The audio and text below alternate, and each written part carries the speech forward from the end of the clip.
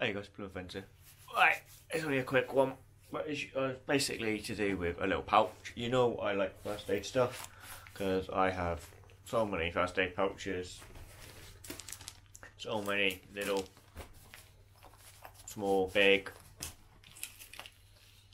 large first aid pouches. I was given another first aid. Um, I was sent another first aid pouch from one of my friends, and um, I've put it in my EDC Woods kit.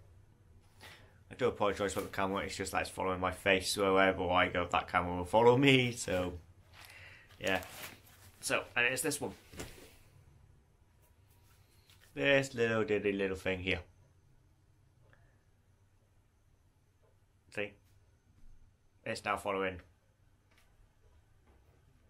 this. Hello, camera, come back. On, guys. Right, now it's back on me, not this. This is my little first aid pouch I got recently. Or technically, I should say, I got it today. It's one of these Helikon Tex. I don't know, I will leave the name of it in the description. But it's lovely. I mean, for boo boo kit, whatever you want to call it, it's lovely. Like I've only got a few things in here. I've got some sun cream, bugs, um, bug repellent, um, hydrochloric, hydro, I can't say that word. I got treat antibiotic cream. I got painkiller, pain relief in here. I got a plaster slash band aids, some sports tape, some alcohol wipes, whatever you. To me, it's only a little small reboot kit, but I like it a lot. I can truly admit, when I first opened the package for this, I thought this thing was a joke personally, and I'm not going to lie to you, I did. I thought this was a joke. I thought for the price what she probably spent it, I think she spent five or six pound on it. I thought it was a joke for the price. But then when I went online and looked how much people have been spending on these, I didn't realise they're that expensive. And yeah, that's not the only thing she got me. She got me another one of these Not that. The hand contact gear well thing, whatever you want to call it, trip well. So yeah, this gear is slowly coming together with this stuff. So yeah, this is just a quick one as I said. It's mainly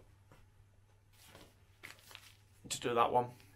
As you can see, it's tiny, it's smaller than my hand. But when it folds out, it's still tiny. That's the reason why I thought Alright, so this pouch, because I've taken away the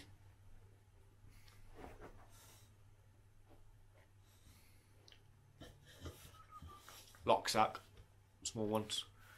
So, not everything. What was in here is in here. As I said, this is a lot smaller. That this, hard to believe, can hold a lot more. It could, it even fit. This is how small it is, guys. Done it again. Sorry, guys. Is, is it facing me? Is it following me now? Yeah, it's following me now. At the moment, it's just going to keep going on this. I'm still learning on this camera. But yeah, you can.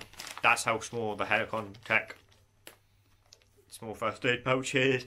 You can fit it in that small lock sack. I'm not going to keep it in there. I'm just trying to show you that's what you can do. So yeah.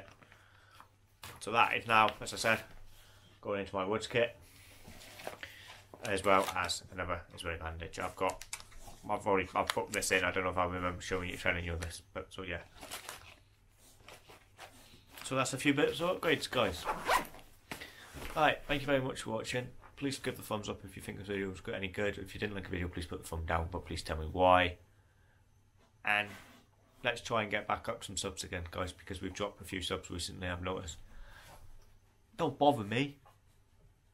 It don't at all, because at the end of the day, I know I've got my support network from you. So, thank you very much. We'll see you soon. Bye bye.